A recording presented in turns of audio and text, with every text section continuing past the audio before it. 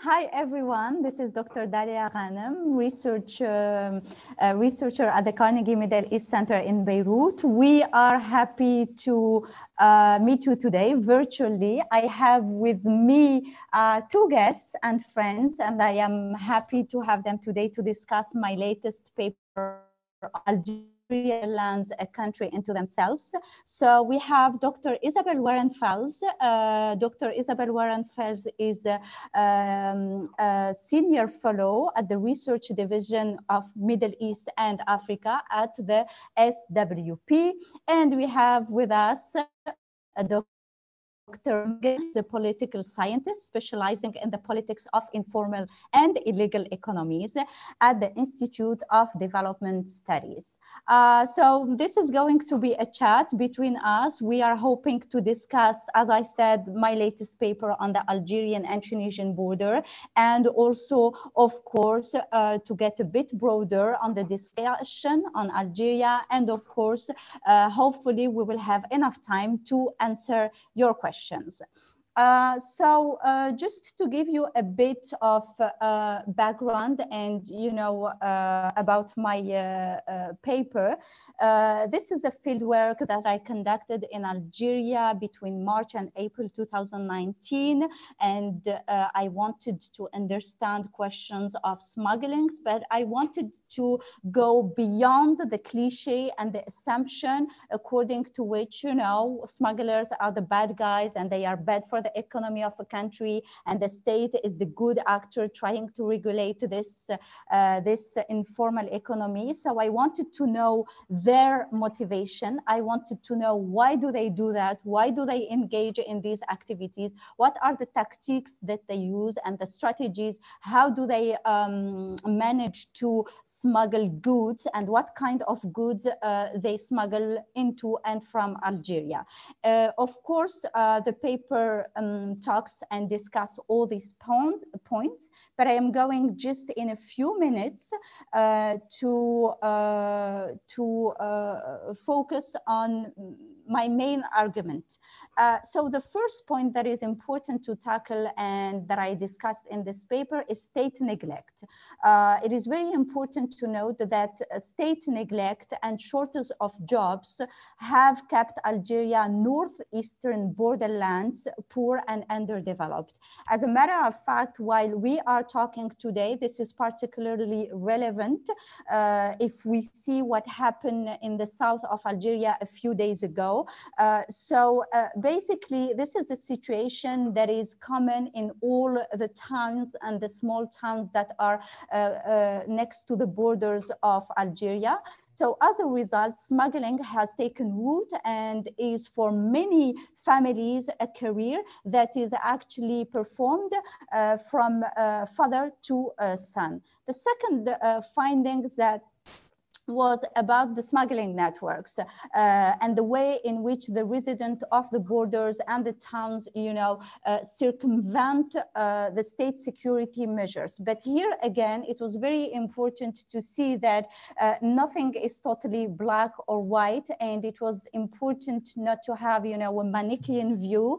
Uh, so uh, I, of course, there is a connivance between state officials and smugglers, and there is almost almost a dance, if I may say, very well choreographed between these two actors in uh, the, the, the, the, smuggling activities. As many smugglers told me, uh, there is, they buy the road, they say they buy the road every day, every night uh, to uh, smuggle goods from Algeria into Tunisia and vice versa. And they do it, of course, with the connivance of state official. Why this laissez-aller policy uh, from the, the, the, the, the state official? Well, uh, it has, smuggling has long been tolerated by law enforcement official.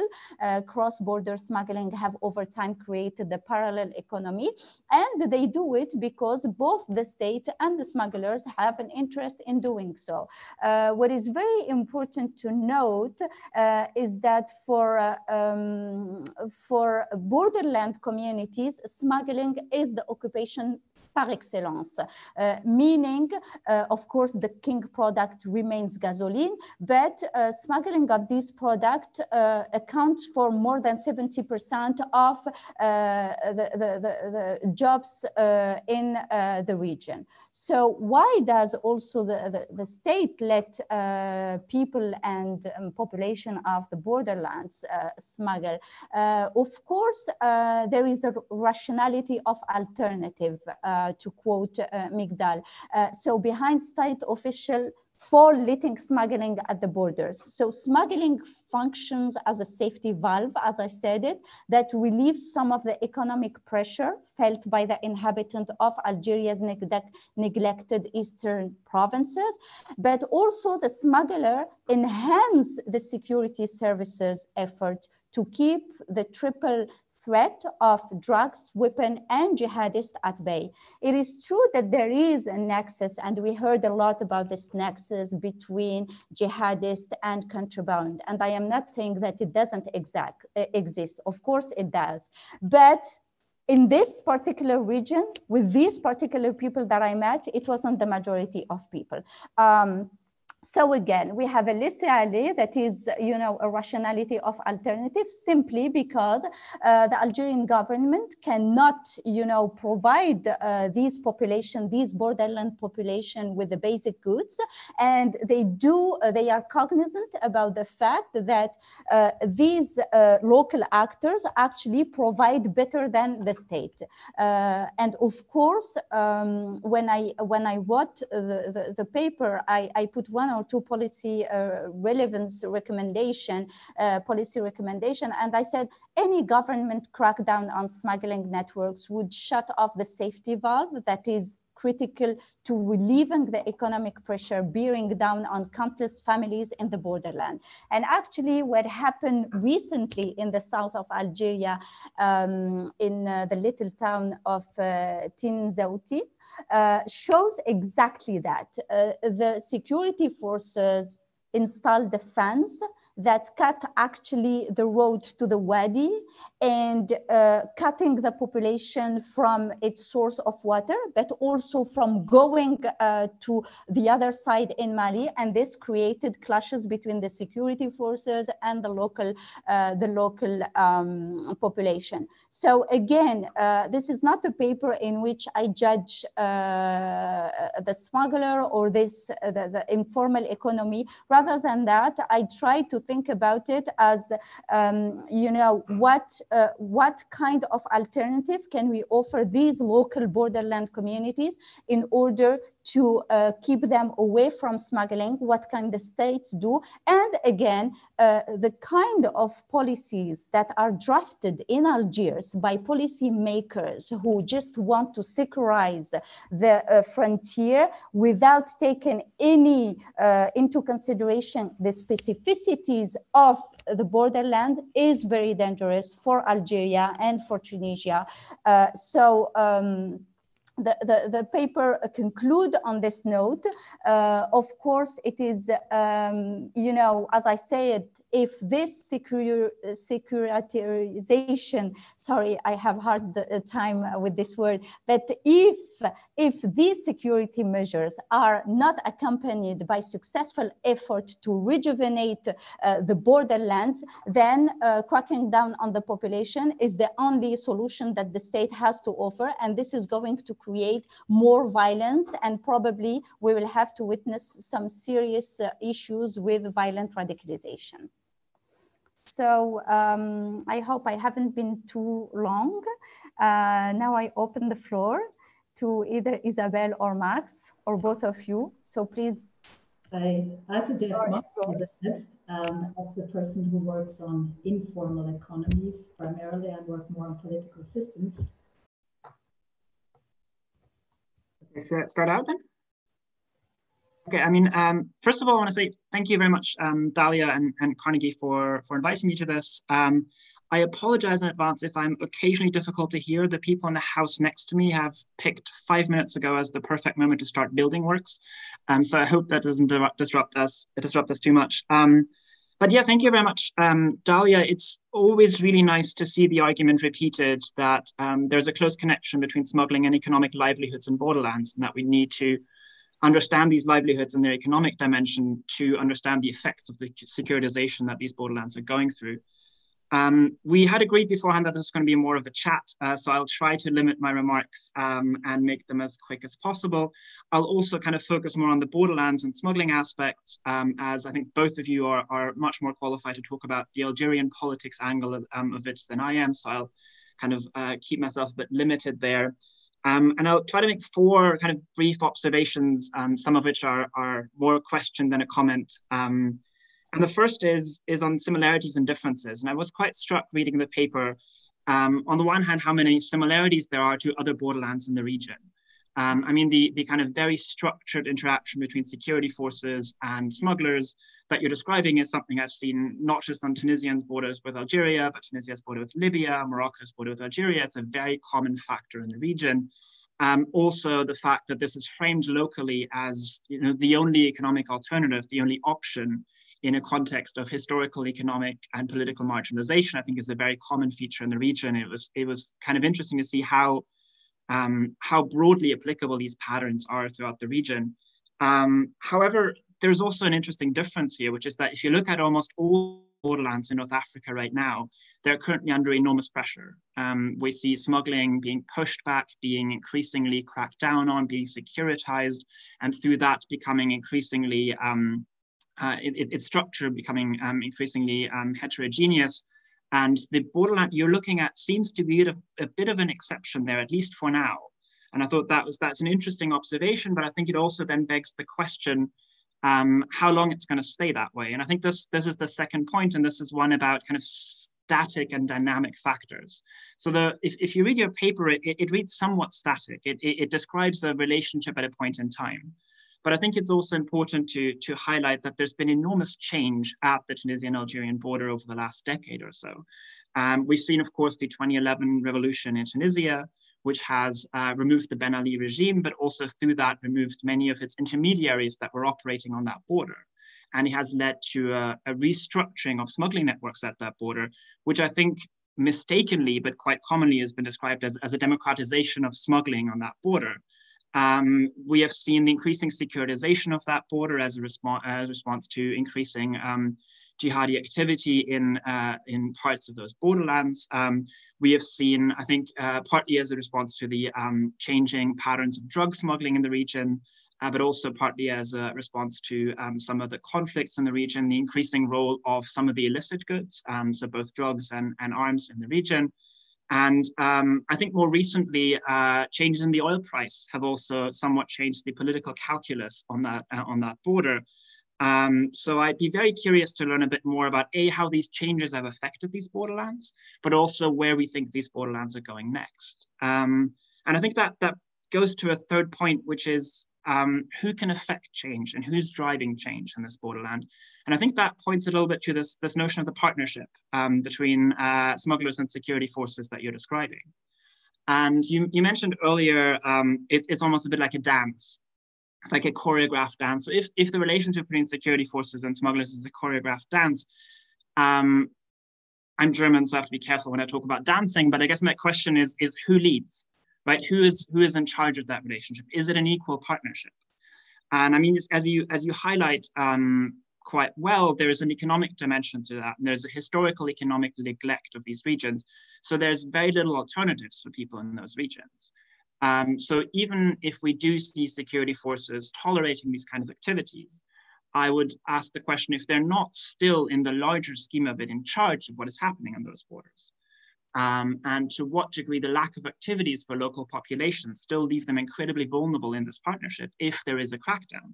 And crackdowns do happen. I mean, the Moroccan-Algerian border is, is a good example of that. And even if we talk about a, a, you know, a structural dance, a choreographed dance, violence exists at these borders and crackdowns exist. And we see young men getting arrested and thrown in, in, in jail um, so there's there there are cracks in that stability, and I think these cracks point to a power imbalance. So I think it'd be I think it'd be interesting to think about that a little bit more. Um, I mean, there, there was a survey on the, on the Tunisian side of the border, so both on the Tunisian Libyan and the Tunisian Algerian border a little while ago, that asked smugglers, um, would you like to do something else? Would you rather have a formal job? And quite a lot of them said, yes, I would, um, but I can't because there is no alternative to this. So I think that sheds a little bit of light on the unequal relationship that's at play there. Um, and a final point, and then I'll, I'll kind of wrap it up um, for now, is I mean, the title of this paper points to the, the borderlands as, as a country upon itself. Um, and you are you are arguing that here is there's an unusual pattern of state building at play here, that uh, an uneven pattern or, or a specific borderland pattern due to the kind of importance of illegal rents in pacifying and including these borderlands populations. And I am asking myself how unusual this really is. Um, I mean, as I, as I said in the beginning, this is a pattern we're seeing across the borderlands of North Africa. This is, if we're honest, a pattern that we're seeing across borderlands of the developing world, um, that we're seeing historically in Europe, and that I think even if we go away from borderlands, we still see as a, as a central feature of state building in the developing world more widely. Right, so the, the role of illegal rents, of informal economies, of, of side payments, um, of, of um, informal uh, rents in kind of these Mushtaq Khan's political settlement is incredibly common. So, so I guess maybe as a, as a provocative question is here, is this a country upon itself or is this just, you know, a feature of the country? Um, but I think in that point, I'm already slowly uh, getting towards the Algerian politics territory and will happily hand over to Isabelle, who um, is much better placed to speak about that than I am. Thank you very much to both of you. Um, Max, you already laid out some of the threads that I was going to follow, and Dalia, many of them. So let me just begin by saying I, I was fascinated, Dalia, that you picked the border least in the limelight of all the border, and I think also the one with the least symbolic political baggage of all the borders. I mean, if you look at Algeria, Morocco, we all know it, it's in the limelight, in the spotlight, and it is also the border of the propaganda wars a few years ago, we had migrants being shuffled back and forth despite the securitization of the border that Max just described. So it's always a question. I think borders are at times also very porous if there is a political will um, on, on the two sides. Um, and if we look at the Libya Mali border, of course, um, security is the real issue. But also, um, I think with Mali, there's another sensitivity or sensibility for Algeria, which is the G5 and international involvement in Mali. So I would say that different borders carry different political, local, and historic sensitivities. And I would like to say a few words on the South because, as you just said, Dalia, of course, if we look at Tinzaouatine, I've never been there. Um, um, so, you know, I'd be hesitant to judge, but of course, I imagine we have the same socioeconomic grievances, if not worse, that you just described. But I think we have a certain intersectionality because that it overlaps with a sense of racial discrimination in the South. So it's also a different setting. I mean, when when young people or older people put up signs to our red lives matter, then I think we have another issue coming in that we may not have at the Tunisian Algerian borders. So I, you know, the South with its nuclear tests, fracking, all these things carries a different baggage. And I think there, you know, would be a, a, totally different ballgame again to discuss that. And I think just my last comment or second last on, on the South, I think it's it's quite paradoxical how in the imaginaire, I think of the Algerians, there are not just the visible borders, the borders we have um, that you just all described, but I think we have invisible borders that play a big role. And the border between the North and the South, the belongings, I think that's quite an important one between a Saharan identity and the Northern Mediterranean.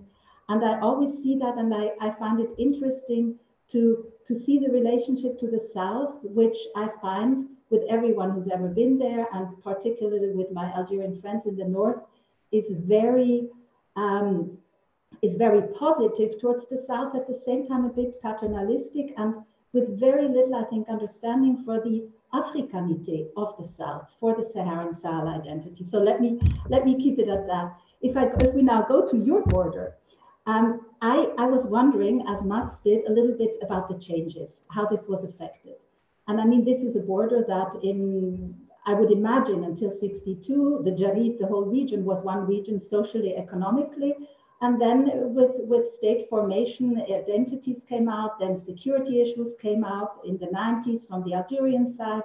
So later increasing securitization as Max described. So I find it interesting to know how, how local people, smugglers, but also regular individuals that are used to crossing borders adapt to that.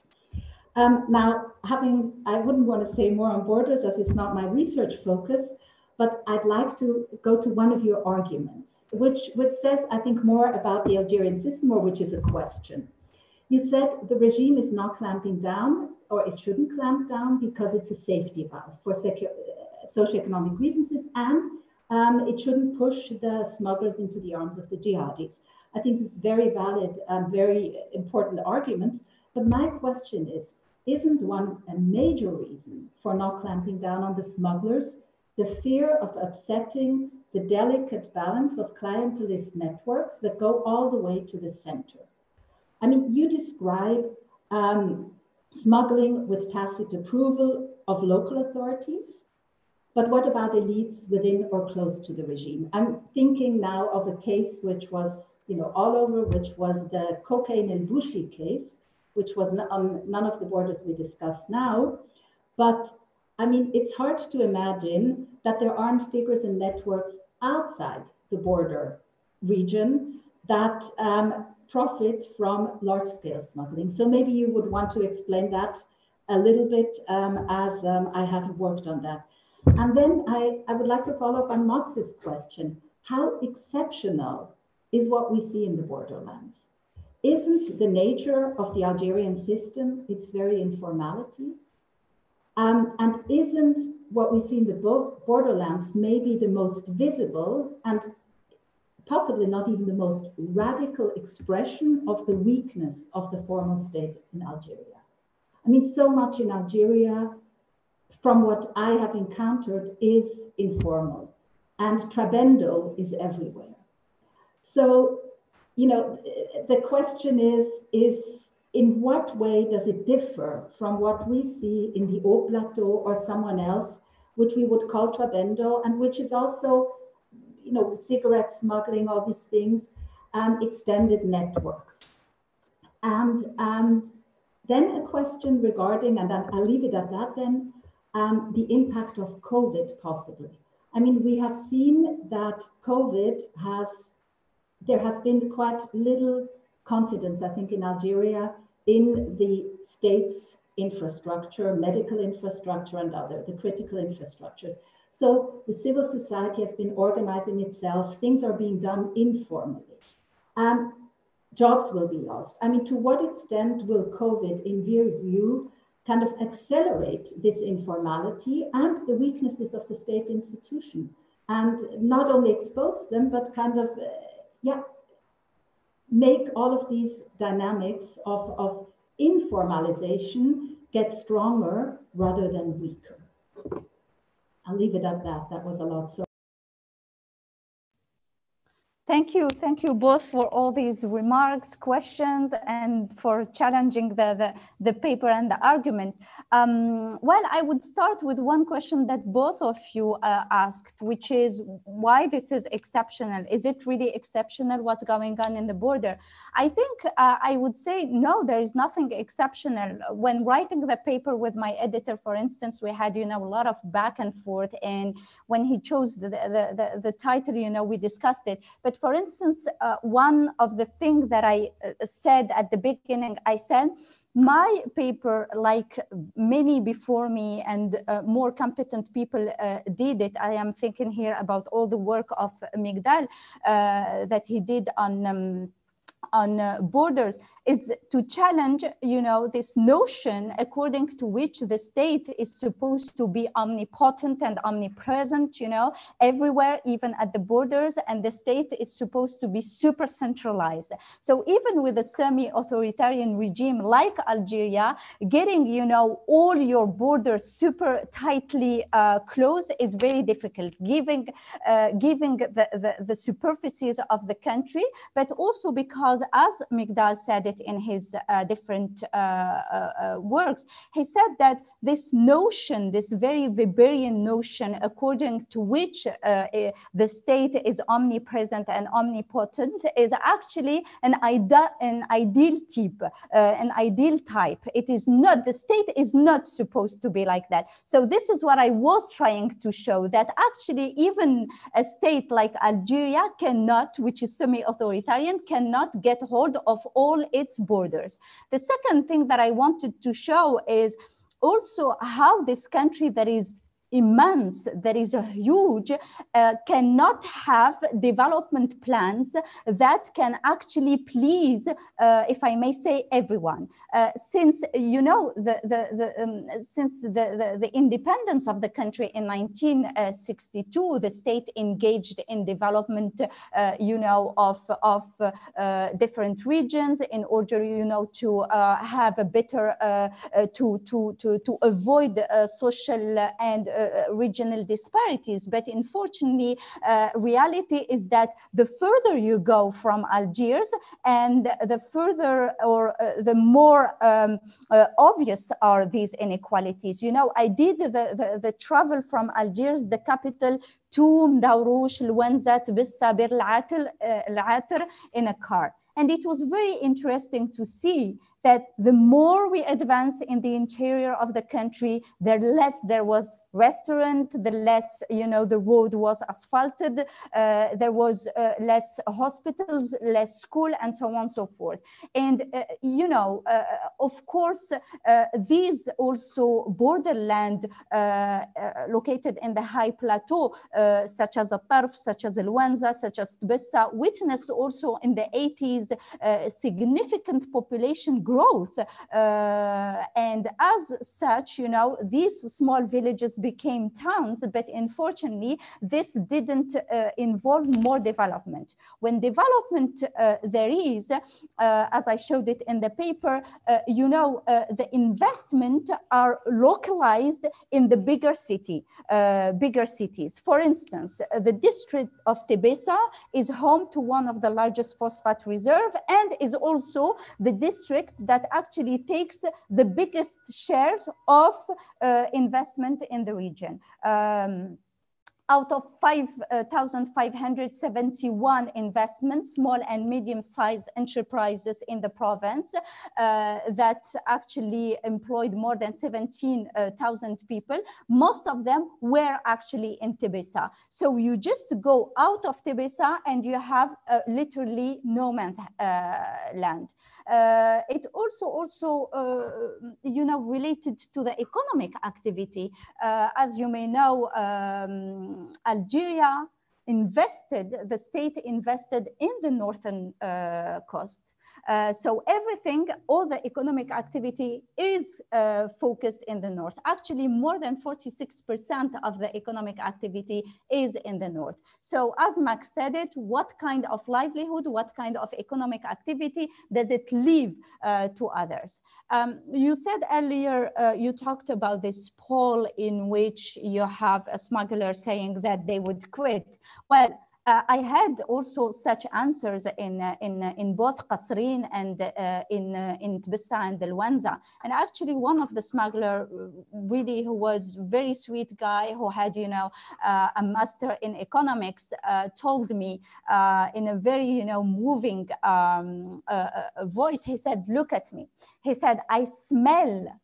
Gasoline the entire day. Do you think that there is a human being who would love to smell and to look like me the entire day? Of course i am not doing that by choice. I would like to work. I if they uh, he said it in arabic he said uh, ida irigluni which means if they fix me meaning if they find a job they uh, exactly then i will quit. And many of them told me uh, the same thing. Uh, but again what is in the region? For instance a, a region like Lwenza, which has, you know, the biggest uh, um, uh, Manjam al-Hajjar, uh, which is, you know, for, for Arcelor Mittal Annaba, is located in Al Wanza and doesn't hire. And when they hire people, they pay them very, very small amount of money and there is no job security. So of course, you know, there is this problem of development, of jobs, of, of uh, uh, you know, sense of otherness as well. And I think maybe this is more, you know, as you said, Isabelle, uh, more maybe salient in the case of the South because, you know, there is this question of Africanité. And as you said it, they, they, they, they use the hashtag Black Lives Matters. But even in the northeastern borderland, there is this feeling of otherness, uh, be it on the Algerian side or on the Tunisian uh, uh, side. On the Algerian side, people would tell you, you, you know, meaning uh, you people from the capital, because, you know, from my, uh, my dialect, they can say that I am not from the region. And they would tell you, you, you don't care about us. Actually, you still see us as this very backward region that is uh, that is uh, totally backward, but also you judge us. And it is true because when I talk to people in Algiers and I said I'm going to do field work uh, about the smugglers, the, the, the, the, the, looks and the opinions were very harsh toward them. Um, so um, about the choreographed dance, uh, yes, Max, you're right. Uh, it is not totally balanced, but I, you know, it's a dynamic. Uh, so sometimes, for instance, after the fall of uh, Ben Ali, as you said it, things changed. Uh, for instance, after the attack of the gas facility of Ain Amenas in 2013, there was serious crackdown on smuggling in the region and the population was very upset. So it is a story and a dance between the two of collusion, coercion, violence, adaptation, and each time, each period uh, brings its own uh, dynamics. But when I was there, it seemed that everybody, everybody was happy with the, you know, with the deal and with what's going on. But when I talked also to the security um, people, state representative, two things uh, were very important in their uh, in their uh, interviews. The first thing, many of them told me, we are people from this region. So asking us to crack down on their our own people is very difficult. Plus, everybody, you know, there is a system of interconnectedness that is very strong in this region because everybody basically knows everybody. And even on the other side, all Algerians to whom I spoke said, Oh, I have a cousin in Tunisia, I have an aunt, I have many uh, members of my family. So the system of, uh, of relationships and is very strong. Uh, so when you ask gendarmes or security forces from the region to crack down on people, that is very complicated. Then, of course, the Algerian state, you know, the Algerian authorities uh, tried sometimes to bring people from other region in order to crack on the population. But then, even when they done that, they realized that uh, when there was clashes between smugglers and the Algerian security forces, which happened, by the way, with real bullets, uh, uh, the, the, the, uh, there was systematically clashes against the security forces the day after. When smugglers have been jailed, there was uh, clashes. So there is this, uh, this is why I said there is a rationality of alternative because the state do know, does know from a fact that it is not able to deliver. So it leaves this part of uh, the, the, the, the, country to other, um, to other uh, actors. Um, now, uh, you know, about how the COVID-19 and you know everything is going to change the dynamics. To be honest, at this point, I can't tell you. It would be good, you know, to go and to do field work and to see also, as Max said, you know, the price uh, of the barrel, uh, you know, uh, is falling. So this will have also an impact on uh, on uh, on the prices in Algeria and hence on the smuggler activity. But one thing is sure there will be uh, changes within the next month in the region in particular and in Algeria in general. Um, the COVID-19, uh, if anything, it shows what many Algerians were aware of and I don't think they needed the proof, but it shows the incapacity and uh, inability of the Algerian authorities to deliver goods again and to deliver uh, something that they've been proud of the health system in Algeria. From the first days of the COVID 19, actually, the, the, the, the health sector was totally overwhelmed. We do remember, for instance, those nurses who went on, uh, you know, symbolic protests saying that they didn't have the means to uh, face a, a, a, pandemic. And uh, today, the policies of the Algerian authorities showed that actually they are totally overwhelmed. How many times we heard Tebboune saying that the confinement is going to be over and then coming back and two days later saying, oh, we are going to confine people again. So there is, you know, uh, these this uh, couac, if I may say, in French. And uh, I believe that the post COVID 19 is going to be uh, the, the, the, beginning of a new wave of protest in Algeria, be it in the uh, borderland, as we've seen a few days ago in uh, Tinzaouatine or in Algiers. Um, you know, uh, there is serious questions about whether the Hirak is going to go back in the street or no, when it is going to do it. And for now, the authorities are holding on, uh, trying, you know, to avoid um, having it back in the street. But one thing remains sure, I think 2020 is going to be a difficult difficult year for Algeria. And I think uh, this is in general going to be a difficult decade uh, for Algeria, but not only for Morocco, for Tunisia, for Lebanon, where I am living, for many uh, countries in the Arab uh, region. I don't know if I answered all your question. I, I, I did a mix of everything. I just want to uh, uh, say one thing. I, I, you know, the question you raised initially, um, all these development plans and the regions haven't been developed. I think there's a pattern we see in Tunisia as well and in, in Morocco. And I one important, I, think there there's many aspects to it, but one is where do the elites come from? Um, do they come from the coastal regions? Do they, I mean, Tlemcen looks very nice um, and had a development boost in the past two decades. And I would argue that had something to do with the fact that the president, the former Bouteflika, came yeah. from the West and invested yeah. a lot of money. And yeah. that was the Sahel. And I think it's always very instructive to look at these, when there are free elections or halfway electoral maps, as in Tunisia, where you could see so clearly. I think the election of uh, Marzouki and the Sebsi was the clearest, how there was such a division going through the country, which had a lot to do where funds have flowed to in the past. So I think this, this, this is a pattern that we could possibly even argue is in Germany there, that certain regions um, in, in, in the eastern part of Germany, despite lots of money transfer, have not developed the way others have. So, but I do think in democracies, of course, it's a question of accountability, and then political parties will be punished, etc. And this is not the case in Algeria.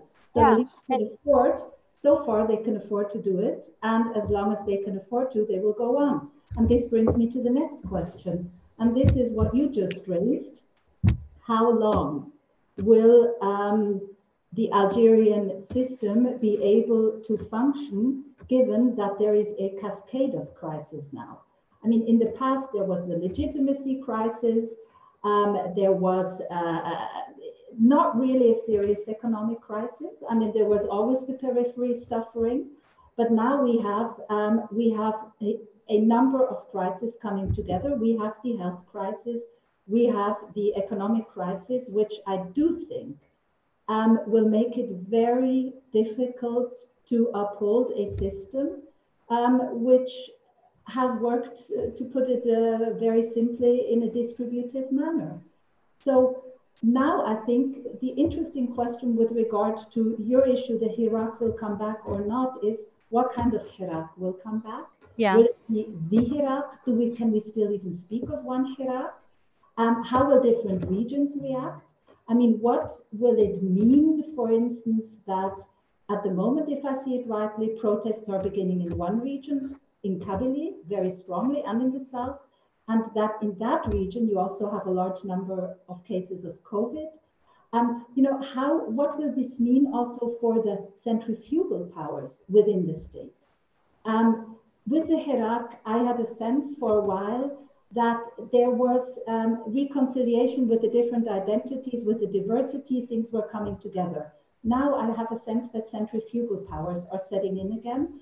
And if yeah. we look at the recipes and the strategies of the state to counter it, we see a new finance law, we see announcements, but we see the constitutional process. None of it, I think, which is convincing to the citizens and in, in, in such a cascade of crises will really have chances of bringing remedies quickly. But this is a very uh, superficial tour d'horizon, but I do think that the question you just put, um, you know, what will 20, not so much maybe 2020, but 2021, when the liquidity yeah. Prices will set down. And my last point, the question will be, will the Algerian government, for ideological reasons, not go to the IMF and do the trade-off with, with, with an economic major crisis? Or will they go to the IMF or other sources that may be less problematic, but also external debt and um, um, in order to try to avoid um, liquidity crisis. So those, those I think are going to be the questions for the next year.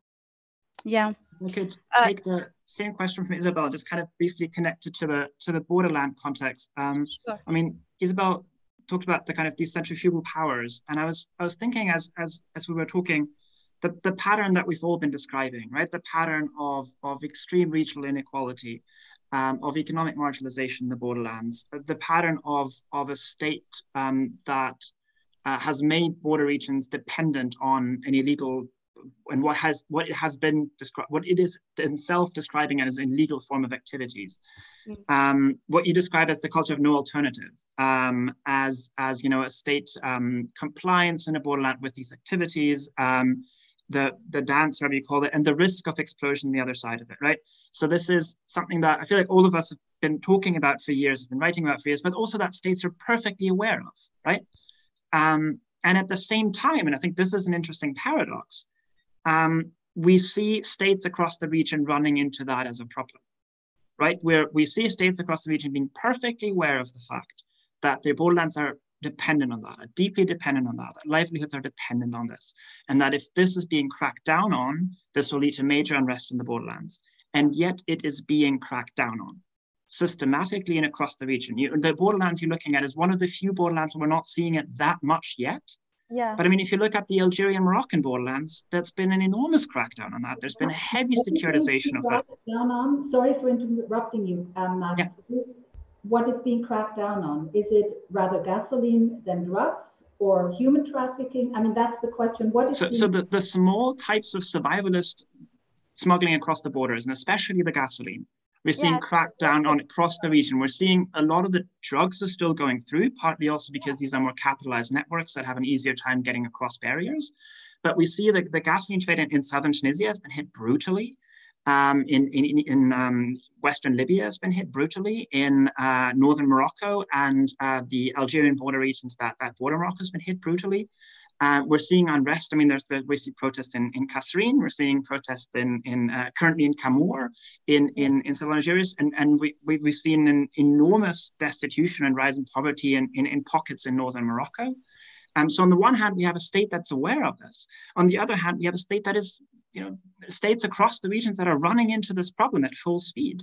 And I think it begs the question of what's what's happening here. Is, is, is a specific model of state building in the region succumbing to its own contradictions? Are we seeing a, a, tightening of the constituencies of the regimes and the borderlands are getting left out of that? Mm. Um, or are we seeing a, a, context where the, the weakness or the, or the, the, um, the dangers in being informally included the dangers in being not included through development projects, but being included through the toleration of illegal activities are really coming back to haunt these regions. Um, and I think in that context, I thought, I thought Isabelle's point earlier around culture and around identity becomes really important because, as you mentioned earlier, it has become easier for regimes in the center to other border regions, right? To paint them as unruly, as violent, as um, as illegal, as criminal, as dangerous, as potentially in league with the terrorists. And I think the fact that it has become easier also for identity regions to paint it that way and that they are dependent on activities, dependent because it's the only alternative they have, that can be cracked down on by the state, that can be treated differently than someone who owns a meat factory or, or you know, a factory near a harbor. I think it's becoming really, really crucial in this in this reformulation of, of, of ruling structures in the region and I, I don't think we fully understand that yet, but I'd really like us to think about it more. Um, but sorry, I'll, I'll, stop with that. I also see that we have lots of questions on, on, on YouTube, so I'm going to talk less. Of course, we also have to ask what external actors, what role they play in that, in forcing the states to do that. I mean, yeah, I mean, this, this, the entire securitization we're seeing across the region has, has a foreign dimension, right? Absolutely. So because you said there is such a paradox, the state knows it can't afford to crack down, so the state is also, I mean, arguing on the international level, we are cracking down, but we need more development funds. And then where the funds go is a different, this is not Algeria now, this is more Morocco and Tunisia. Um, yeah. And a different question. Max, may I just, what you just described, I mean, is there, what is a good example of a state that got out of this? I mean, you work on, on, on you look at so many border regions and then efforts to, to kind of manage that in a way which is not the way that you just described by aggravating the things, but by finding solutions. Is there any example you can think of? I'm sorry, Dalia, I'm taking, I just, I'm very curious. No, please go ahead. I have a Swiss example, um, but I'm not gonna, um, I'm not gonna go with that. Um, I mean, I think it, it draws to wider issues of, of regional inequality. I mean, there's German examples, right? There, and I think all these examples point to the difficulties. They don't necessarily point to the solutions, but they point to the difficulties. I'm going to go with a Moroccan example, if, if not to purposefully annoy the Algerian panel. Um, but um, I think Morocco has quite consciously tried, um, after the increasing fortification of the border between Morocco and Algeria, to engage in development projects in the Northeast. And it has shown, I think, how difficult it is because I think it has largely failed despite the fact that it has tried very hard. And I think it has partly had such difficulties because creating relationships locally has been incredibly difficult to, to build structures locally, to get a dialogue going about what is needed in the borderlands, because the institutions for that dialogue have never been there. Um, and, and, you know, the local administrators and, and, and former smugglers and community leaders weren't in the type of dialogue that they needed to be in. And I think that's um, not necessarily a, a, good example of how to do it, but I think it points us to a really important point, which is social structures, it's community structures, the dialogue between states and citizens. And these are things, if, if, if any meaningful development projects in borderland regions happen, and it will have to be meaningful development projects the only way out of this, they need to happen in a conversation with local communities that know the local context. And I think that is often underestimated on how hard it is to do that and how much harder it becomes to do that when we see the kind of marginalization, othering of border regions that we commonly see now. So it's a bit of a cop-out answer, but I think it points to an important, important aspect. And we have no, right. and, you know, yeah. And I think dialogue you know, you said dialogue between communities and the leadership is needed in the border. It is needed everywhere. If I come back to uh, Isabelle's uh, question about the Hirak, I think the Hirak is in a very sensitive position now in a, a very crucial time. It needs now to decide, and I hope that the, the confinement help people, you know, figure out what they want, uh, whether they want again to continue in this, uh, you know, uh, um, approach of with all of them, you know, uh, leaving the leadership, or do they have uh, more, you know, uh, substantial and less radical demands? But I think the dialogue is very important, and and um, what the Hirak brought again is this capacity of Algerians to dialogue and to discuss between themselves.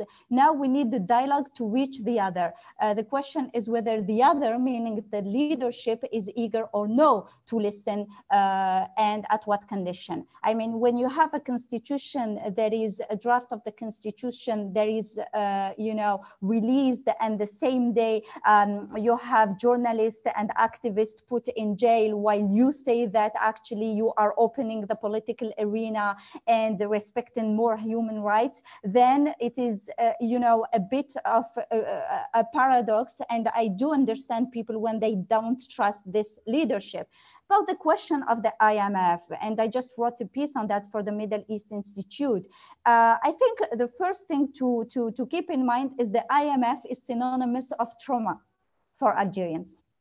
For many Algerians, IMF and the, the plan d'ajustement structurel of the 90s meant, you know, inflation, meant, you know, closing of, of uh, companies. I think 500,000 people were laid off.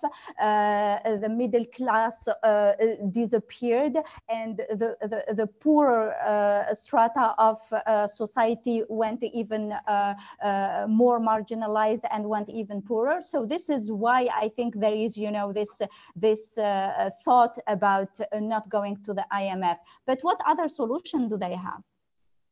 Uh, some experts, uh, economic experts are, say, are, saying that actually the exchange reserve are going to be, uh, you know, to end by the end of 2020, beginning of 2021. Uh, so what are the options that the Algerian authorities have today? I pessimistically tend to think that the only option that they have, and they are probably going to use, is the coercive uh, option. They have the means to do so, and I don't see any any uh, you know positive uh, uh change uh, since uh, the the um, since the election of 2090s with Abdelmajid Tebboune. He promised so many things, and he didn't deliver. As a matter of fact, he has the the worst 100 days uh, any president, any Algerian president uh, uh, knew. And there is a pattern of escalation and violence in Algeria that started even before the COVID. Uh, so I am not very optimistic about what's next. And uh, to, to, to, end on this and on the border, I think like uh, for several years, unfortunately, the borderlands and the border communities are the ones who are going to pay a hefty price because they are going, you know, to be victims all over again of the politics of neglect.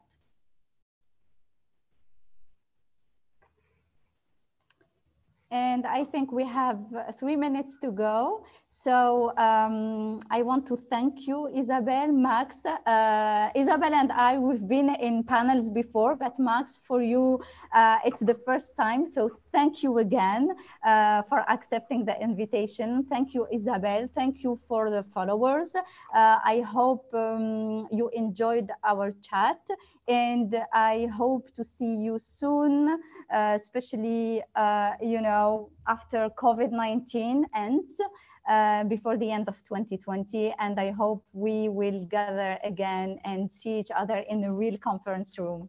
Thank you again. Thank you, Dalia. Thank Inshallah. you. Thank you. Inshallah. Bye. Thank you.